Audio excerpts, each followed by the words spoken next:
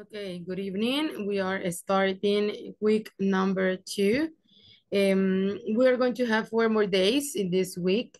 And uh, as I was saying at the last week, we are going to have like, or we are going to feel like we have short, short time in these courses because if you can see, we are starting the week number two and we are going to end this week um, in uh, three more days. And then we're going to have a week number three and then week number four. So we are going to have like a very short time. And it is not like we are going to feel very long um, uh, time or something like that. So we are going to start the week number two right now. And we are going to begin with the with the phrase that I have for you every week or every uh, beginning of week. And we are going to see what are the topics that we are going to develop um, today. And also we're going to, um, we're going to see the section number three because we are going to, to uh, to develop that part.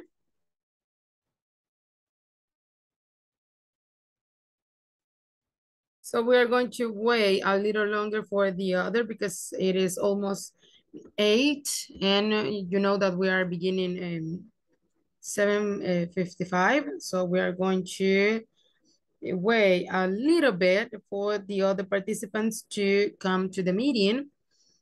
And um, we are going to begin with the first part that we are going to develop in this session.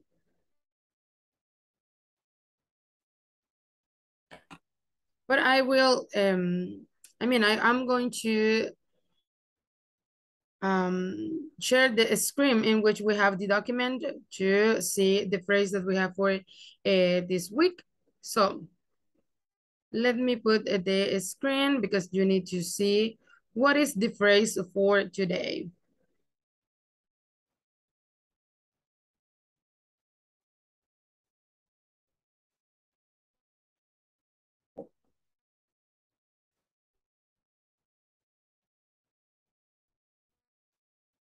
So we have here the phrase that we have for this uh, session and also for this week, because you know that I like to, to share this kind of sentences with you at the beginning of the of the week. And this one said, the best way to predict the future is to create it. So in this case, we are talking about that uh, if we want to have a good future, if we want to have all of the things that we are dreaming about, we need to create our own future. In this case, we need to work very hard for that future. So in this case, remember that we are working uh, in, because in this case, we are learning English and this is a process. And you know that and sometimes it's kind of hard. Uh, sometimes you feel like um, you want to give up and something like that, but you know that this is for your future. So in this case, we need to create our future. We need to work in our future and we need to um, do all the things that we need to do. And in some cases, we are going to feel very, very tired, but we are going to have a reward at the end of the process. So in that case, don't give up and complete or do all the things that you need to do to complete your future. So the last week, we have a lot of topics that we were developing during the uh, four days that we were working. And you know that we have a document in which you are going to find all the information that you need about the topics that we were developing the last week. And the first topic that we were um, working was describing problems we were talking about what is a problem, the two different ways in which we can describe a problem. Uh, we have some structures, some examples. Then we were talking about needs plus gerund or passive infinitive. Then we have a house improvement. This is the, the, the exercise. Also, we were talking about present continuous passive. We were saying the structures of this, um, this part. We have present perfect passive again. Then we have the usage of this one. We were talking about the reduction of the words and in which cases we can like do the reduction or something like that.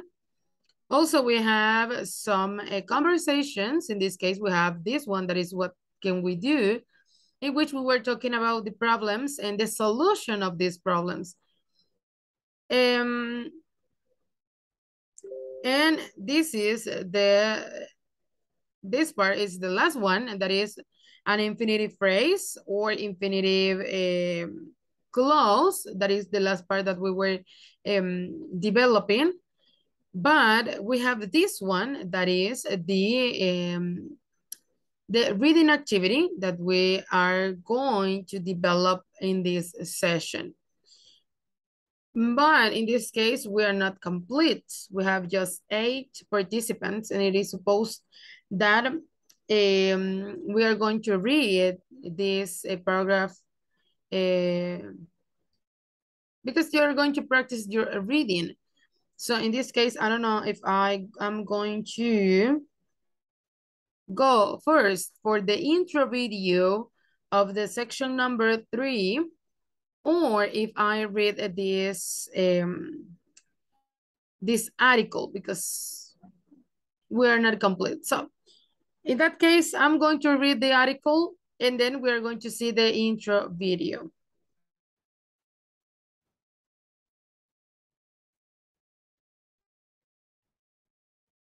same. That's that's the thing.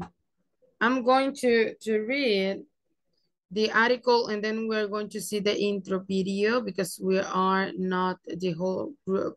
So in this case, we have this article that is called The Threat to Kiribati. Look at the picture. What do you think the threat of Kiribati might be? In this case, we are like uh, guessing about this topic because in that uh, question is telling you that what do you think the threat of Kiribati might be? But we are going to read this article and we are going to see what is the answer for that question that we have there. In this case, we begin um, reading. In this case, you can practice your reading while I am reading the article because in this case, it is a practice that you have on the platform. This is not an exercise because in that case, you can look into the uh, into the, the, the, the word that you have there. And it says that this is just for uh, practicing and for um, helping you to improve your reading skills. Because you know that we are uh, learning a new language. And in this case we need to read also this is not just to talk this is not just to listen and understand what others are saying. In this case we need to improve the four macro skills that are uh, speaking listening reading and writing. So we need to know or we need to practice reading we need to practice writing, we need to practice speaking, and we need to practice listening because we need all of those eh, skills to improve in our process of learning English. So we're going to begin reading this article and it says, the people of Kiribati pronounce Kiribas. In that case, you can see what is the correct pronunciation of that word. Kiribati, like that, are afraid that one day in the near future, their country will disappear. Literally several times in the past few years, the Pacific Island nation has been flowed by sudden high tides. These tides, which swept across the island and destroyed houses, came when there was neither wine nor rain. The older citizens are Kiribati say this has been happened before. Kiribati consists of 33 islands scattered across 380 3,080 816 kilometers of the Pacific Ocean and near the equator. They are particularly threatened by high tides because none of the island of Kiribati reaches more than two meters above sea level. What is causing these mysterious tides? The answer might be global warming. When fuels like oil and coal are burned, they release pollutants that trap the heat in the Earth's atmosphere.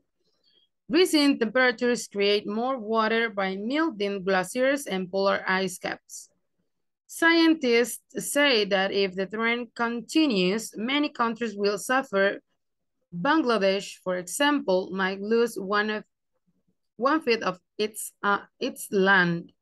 However, the Coral Island, a nation of the Pacific like Kiribati, and the Marshall Island will face an even worse fate they will be swallowed by the sea.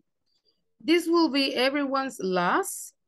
Coral formation are home to more species than any other place on earth.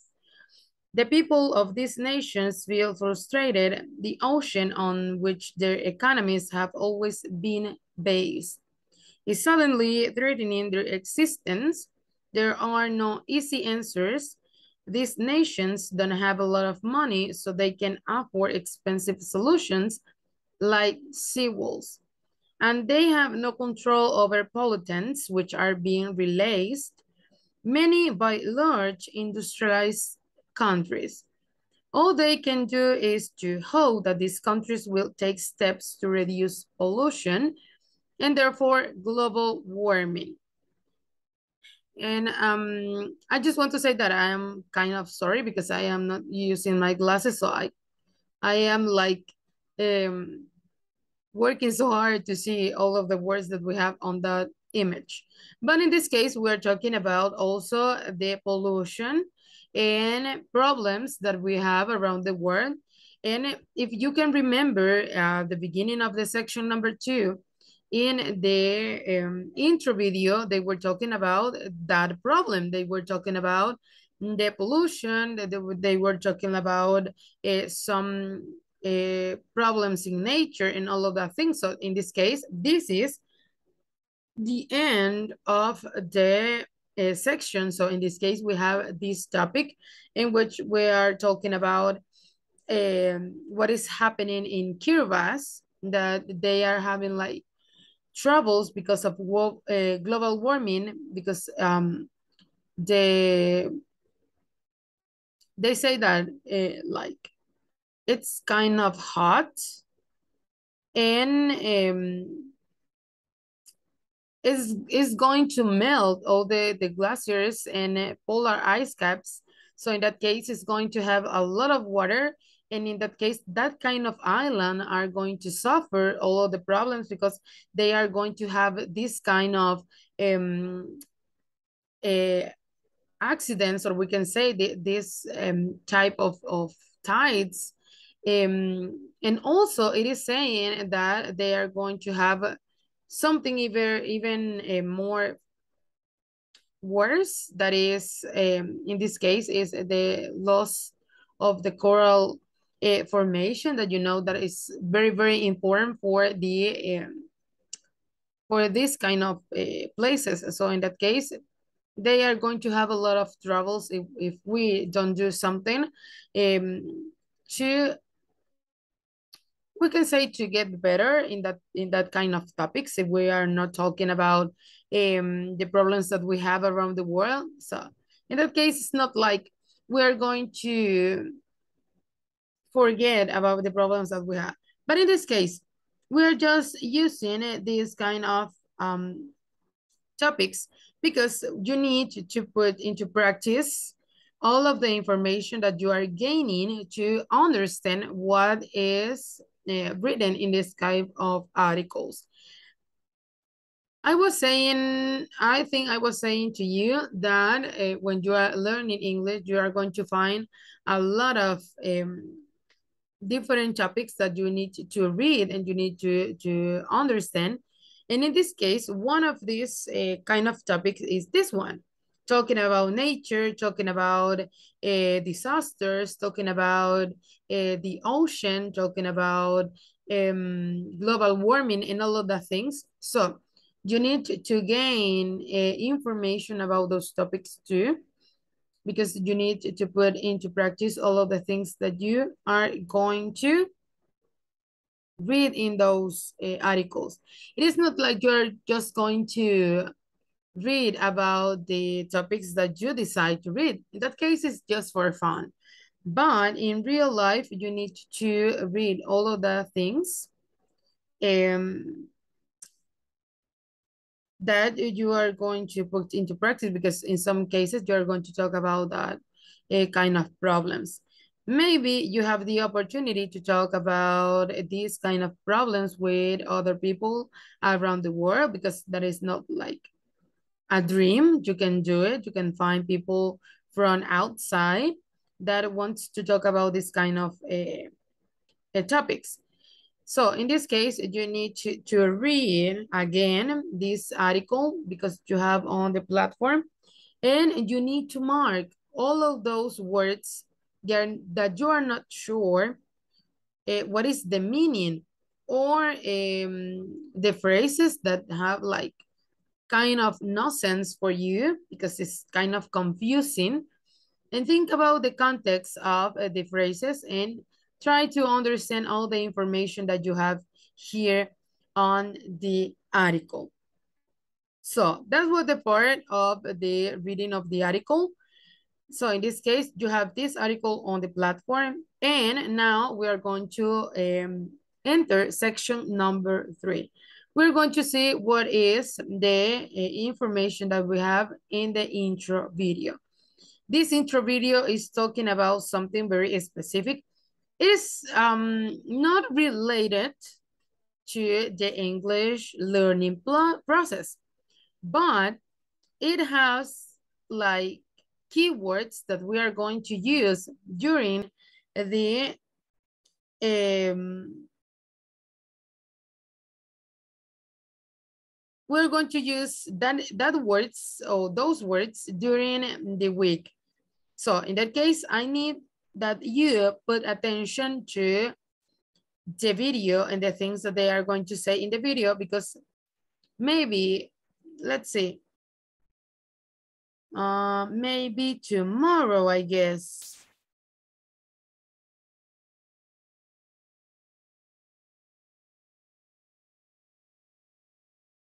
And no, for tomorrow is another topic.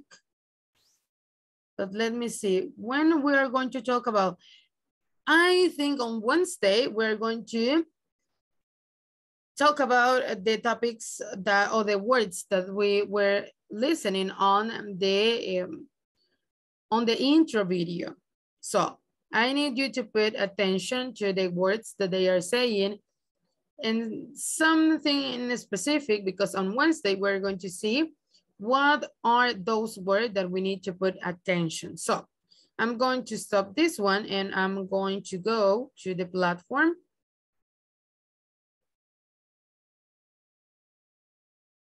So give me a moment. Because we're going to see the intro video of section number three. So remember that in this case, we are in week number two and you need to work in your uh, section number three. And you need to complete for the last day of this week. It is Thursday.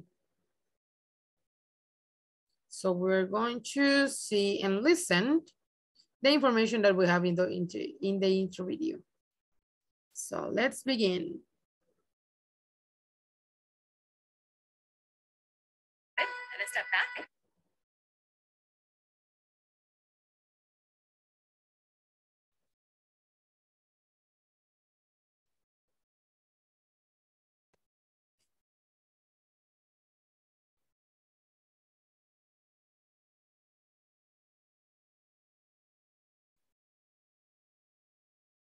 So it's having some trouble, so give me a second.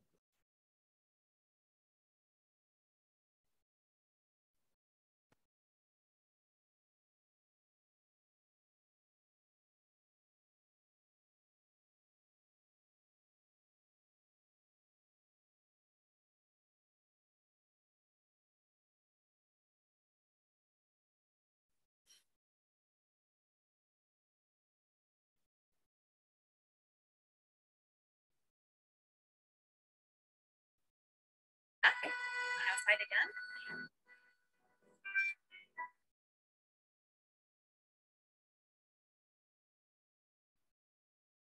Ready to Okay, now it's time to listen the information. So pay attention to the video and then we're going to begin with the topic that we're going to develop today. To watch this new intro video, try your best to understand what they are talking about. Good luck.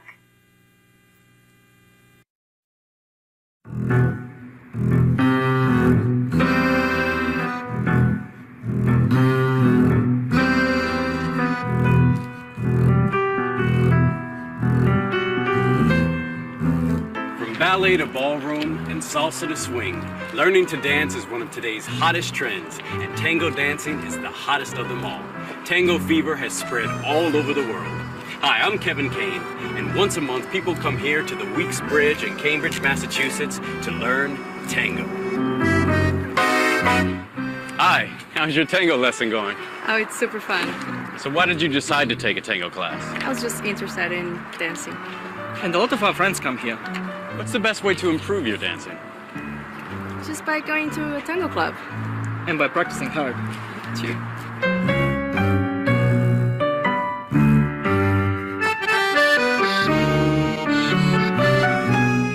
How did you learn to dance? by coming to class And why did you decide to take tango lessons? because I wanted to keep fit and have fun at the same time. Well, I took some lessons and I come here to practice So what's a good way to improve your dancing? by practicing with a guy. But you have to find a good partner.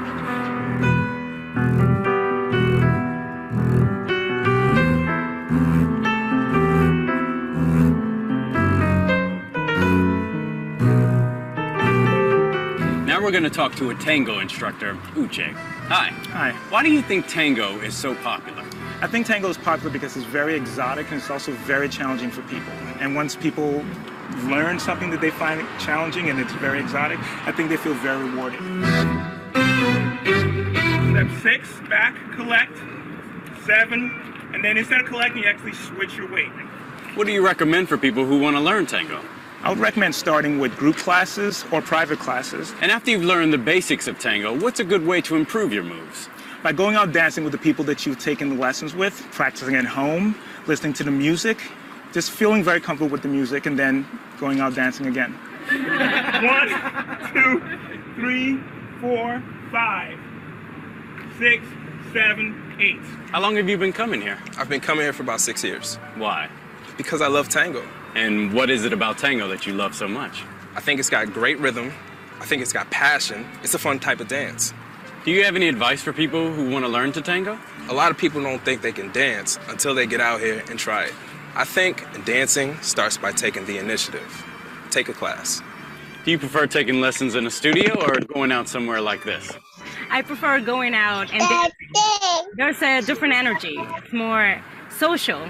But there's nothing wrong with taking lessons. I recommend it. Why do you think tango is so popular? You can grow into it. You let your body move to the music and you create a dance with someone. And it's relaxing once you learn it. Do you have any advice for people who want to learn tango? It depends on how you learn. Some people learn best by taking classes. I learn best by watching and listening to the music and then getting brave and trying it a little. You know, learn by doing and practicing.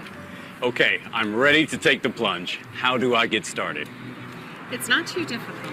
Take this arm behind my back. This one up. Now just start walking. That's perfect. Try step to the side. Good. And a step back. Now side again.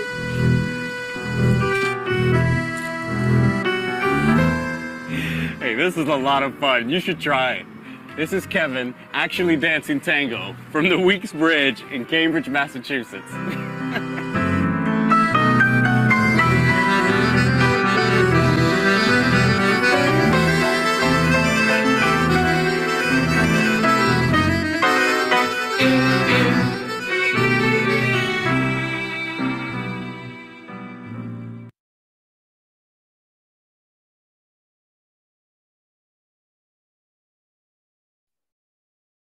So here we have the intro video of the section number three. And they are talking about tango, they are talking about dancing, but they are doing something um, that we are going to put into practice or that we are putting into practice when we are learning uh, English. In this case, we are going to do all of the things when we are learning something new. And in this case, it's not just when we are learning um, a new language. In this case, you can see that they are using um, this information to learn how to dance. But you know that um, I think, I don't know if you can think about the uh, the elements that we are going to use for our topics or for the topics that we're going to develop in this week because in that case they have like they were talking about that information when they are talking about uh, why people like to dance tango or something like that. But we're going to develop all of that um, elements in our section. So I was saying that we are going to see the elements that they are using in the video uh, and we are going to put into practice in our own process. Because you know that um, we are having like this process of learning English and we do something with that.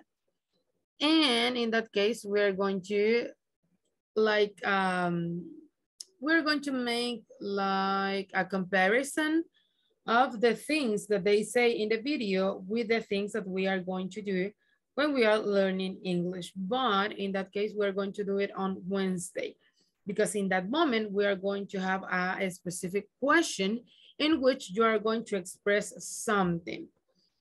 So we're going to give that, that um, that question for Wednesday. So we're going to see what is the topic that we're going to develop today.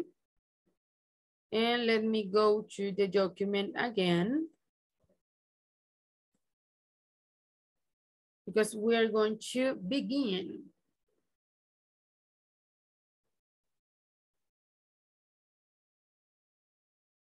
So for the ones that were not here when we begin with this um, with this uh, session, um, just saying that we have this phrase for this week. That is the best way to predict the future is to create it. So we are creating our own future right now because we are learning something new. So the topic for today is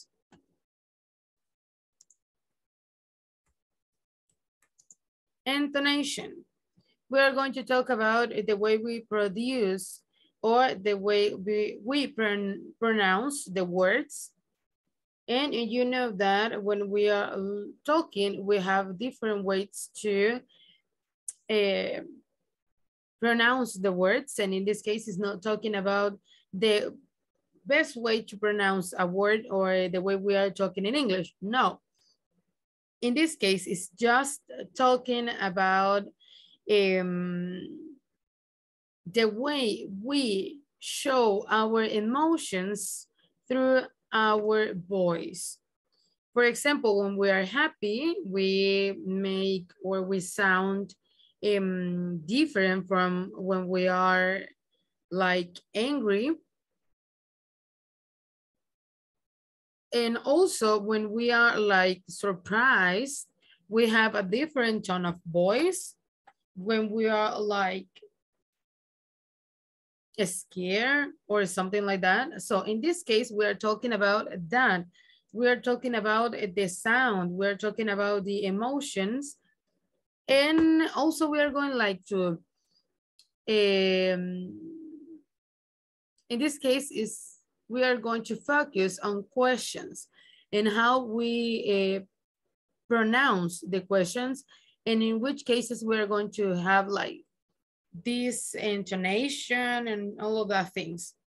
Because in that case, you know that we need to know this information because we're going to sound more natural when we speak in English if we know how to change the tone of voice and how to sound more polite and how to uh, ask questions and all of things.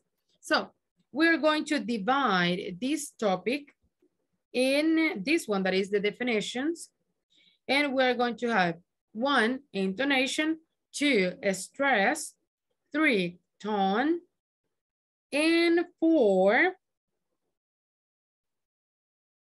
yes, we're going to have a four, that is vocalization.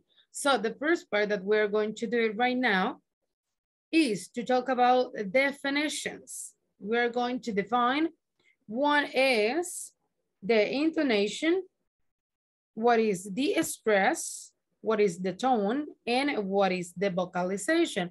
Because we need to uh, understand that they are very different and we need all of them when we are talking in English. So we are going to gain information about the topic and then we are going to explain.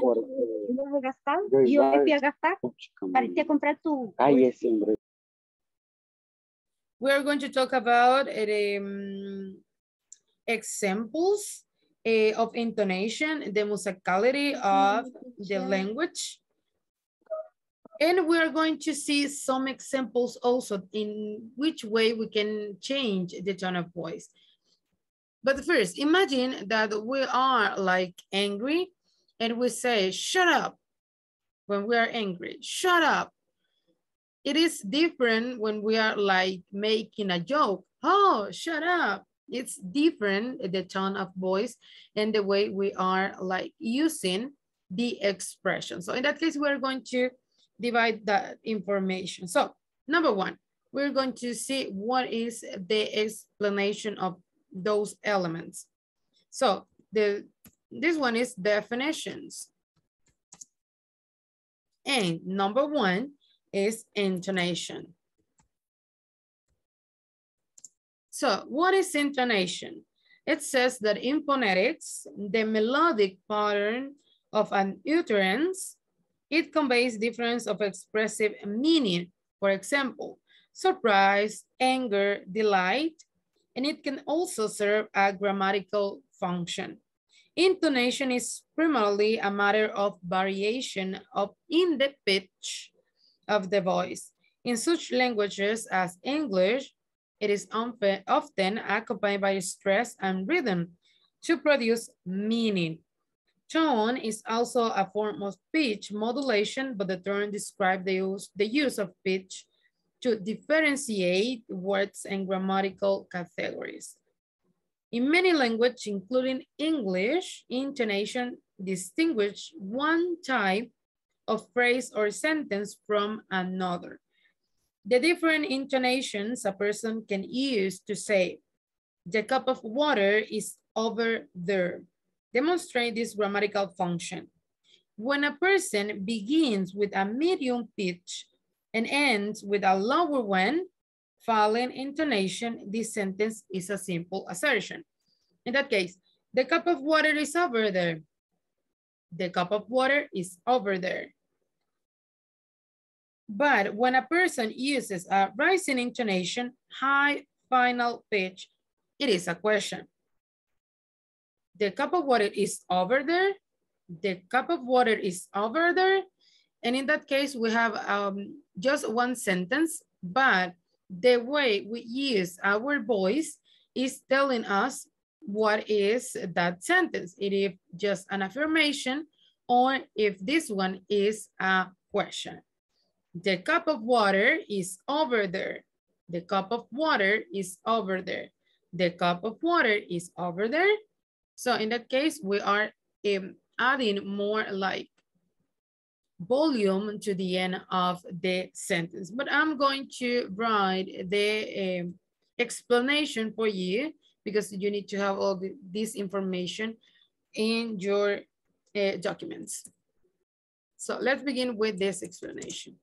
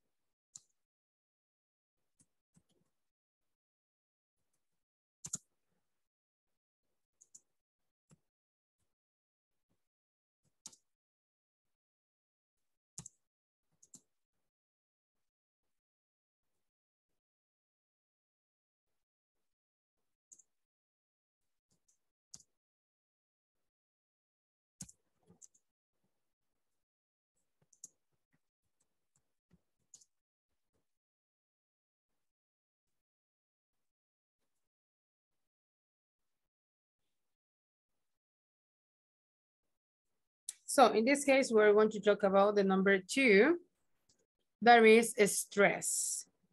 Stress is another of the elements that we can say uh, that we can see in these uh, kind of topics. So stress in phonetics, intensity given to a syllable of a speech by a special effort in utterance, resulting in relative, uh, relative loudness. This emphasis in pronunciation may be merely phonetic. Example, noticeable to the listener, but not meaningful. As it in French, we have like, um, we are like making comparison with different languages.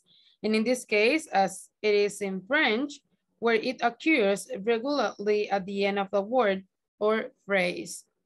Or it may serve to distinguish meanings as in English, in which, for example, a stress differentiate the noun from the verb in the word permit. So in this case, the stress is just the uh,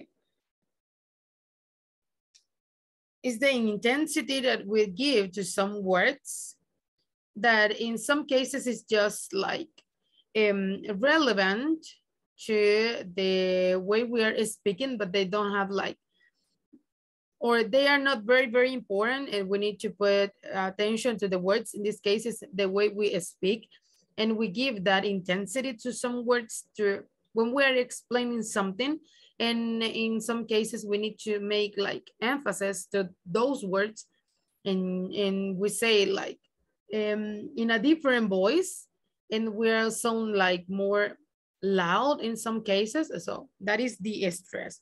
This is just um, something phonetic, but it's not like we are going to have different rules to, to talk about the stress of the words that in this case is just to put intensity to some words when we are talking.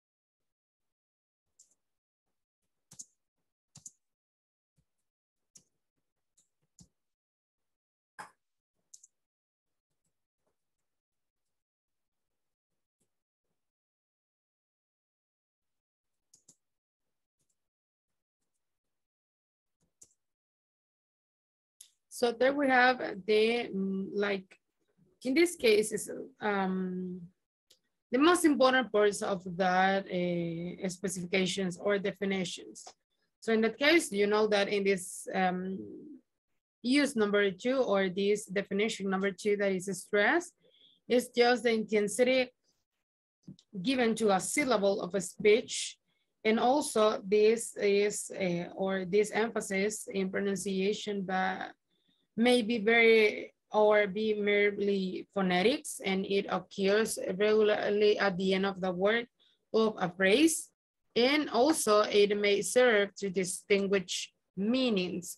So in that case, it's just to, to distinguish meaning of some word because you know that uh, in English we have um, words that we can use for two or three, th uh, or three things the same word is functioning as different things and also they have different uh, meanings depending on the context in which you are using the words. So in that case, when you use the stress, you are uh, like adding that uh, little difference from one word to the other. Then we have number three, that is the tone. And this one say, in linguistics, a variation in the pitch of the voice while speaking. The word tone is usually applied to those languages called tone language, in which pitch serves to help distinguish words and grammatical categories. For example, in which pitch characteristics are used to differentiate one word from another word. That is, otherwise, identical in, in its sequence of consonants and vowels. For example, men, in this case, we're not talking about English. In this case, we're going to have Chinese. Men in Mandarin Chinese may mean either deceive or slow depending on its pitch. So in this case, imagine in those languages in which you have like very uh, similar ways to write the words. Um, and you know that they have a different way to, to uh, produce the language. So in that case, uh, they have or they are identifying the meaning through the tone of the voice and the variation of the pitch when you are speaking in not just the context. They are using also the way we um, use or pronounce the words to differentiate some, uh, some of these meanings when they are talking.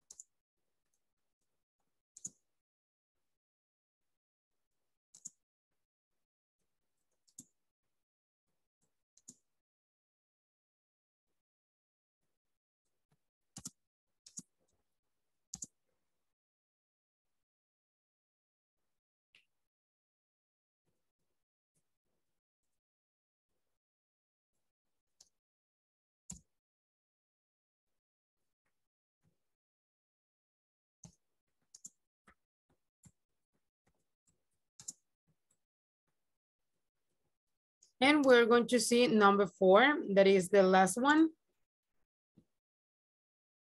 of these four different uh, categories or uh, definition that we have here. Talking about like, but uh, we have another thing about the tone and it says that in tone languages, Pitch is a property of words, but what is important is not absolute pitch, but relative pitch. Tone language usually make use of a limited number of pitch contrasts. These contrasts are called the tone of the language. The domain of the tone is usually the syllable. There are two main different types of tone language, that is the registered tone or level tone, language and contour tone languages. Registered tone language use tones that are level.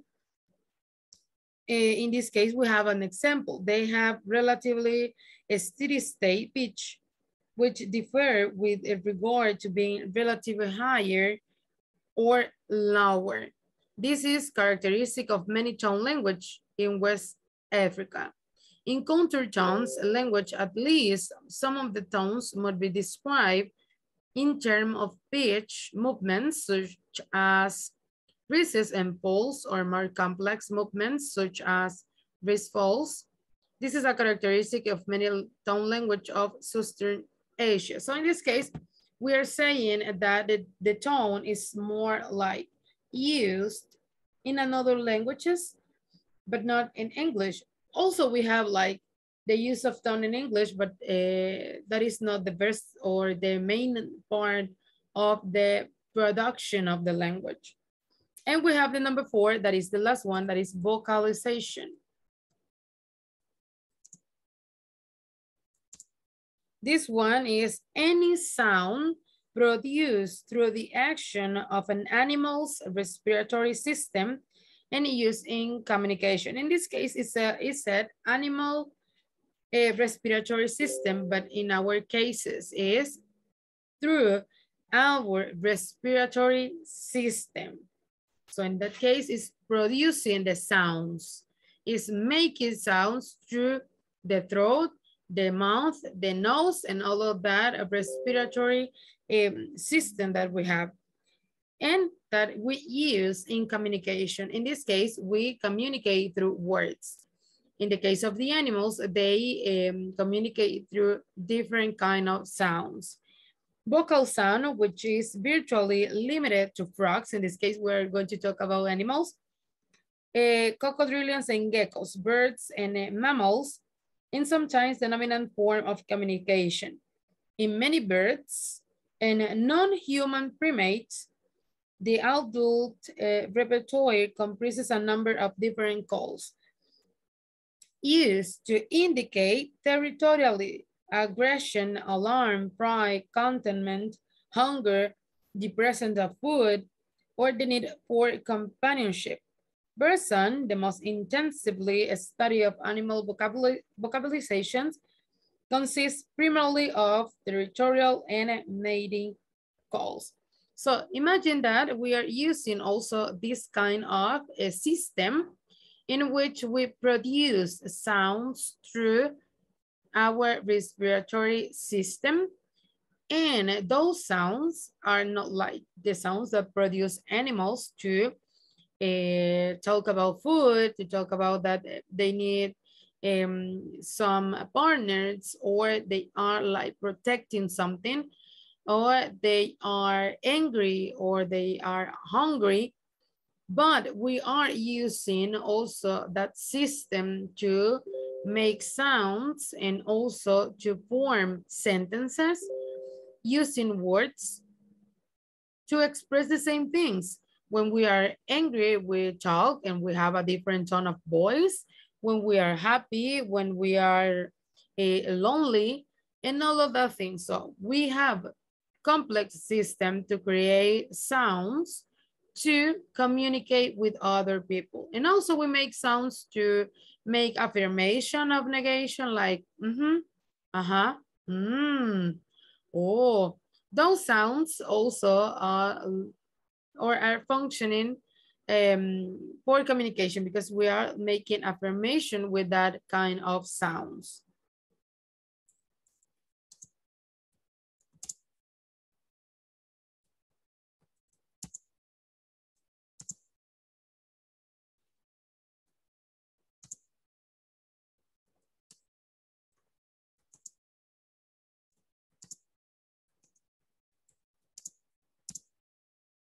Thank you.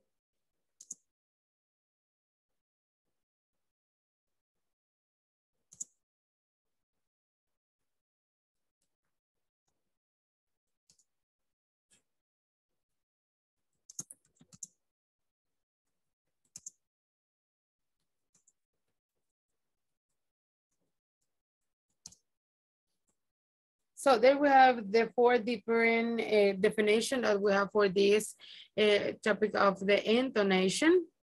But also we have uh, more information in the indices. Um, in a speech, intonation is the use of changing, rising, rising, and falling vocal pitch to convey grammatical information or personal attitude. That is the thing that I was saying at the beginning.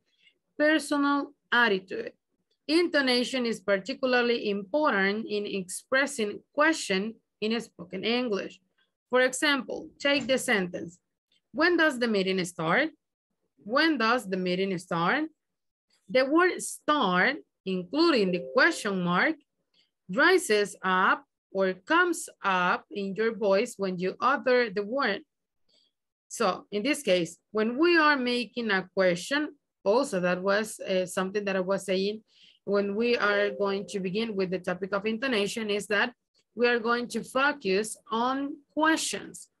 So in this case, we have the question, when does the meeting start? In this case, we're not using the intonation. When does the meeting start? But when we are going to make a question, we're going to say, when does the meeting start? When does the meeting start? And we are raising, we are um, leveling up the tone of the voice to make the question and to let people know that we are making a question. So I'm just going to write this uh, definition or this part of the of the information that I have for you because we are going to end this session in four minutes or three minutes, uh, something like that. So we have this part. in speech.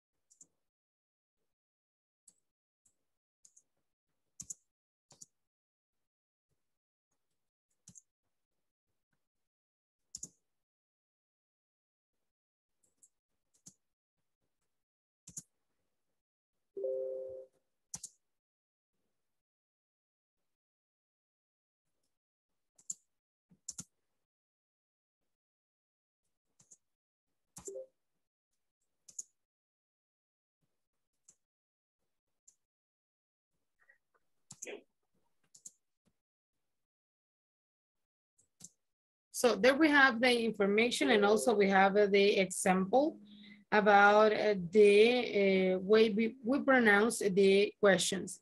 We are going to continue with that topic tomorrow because we have um, more information and more examples about the way we pronounce some words. And also we are going to see how can we change the tone of the voice depending on the context or the moment in which we are talking. So we have a kind of um, short information for tomorrow and we are going to have another topic for tomorrow.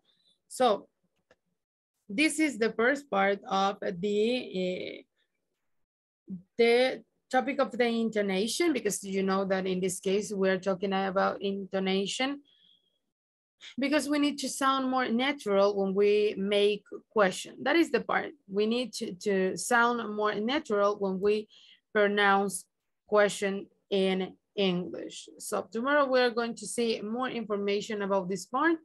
We're going to see some examples and then we're going to see the other topic that we're going to develop for uh, tomorrow. So we're going to have like two different topics tomorrow and some exercises that we're going to perform tomorrow also. And we are going to, let me, this one, yes. So we are going to end the session here and we are going to see each other tomorrow in session number two of this second week. So have a really good night and see you tomorrow. Good night, teacher. Thank you. Good night, everyone. Good night. Thank, Thank you. you. Good night, everyone. Good night.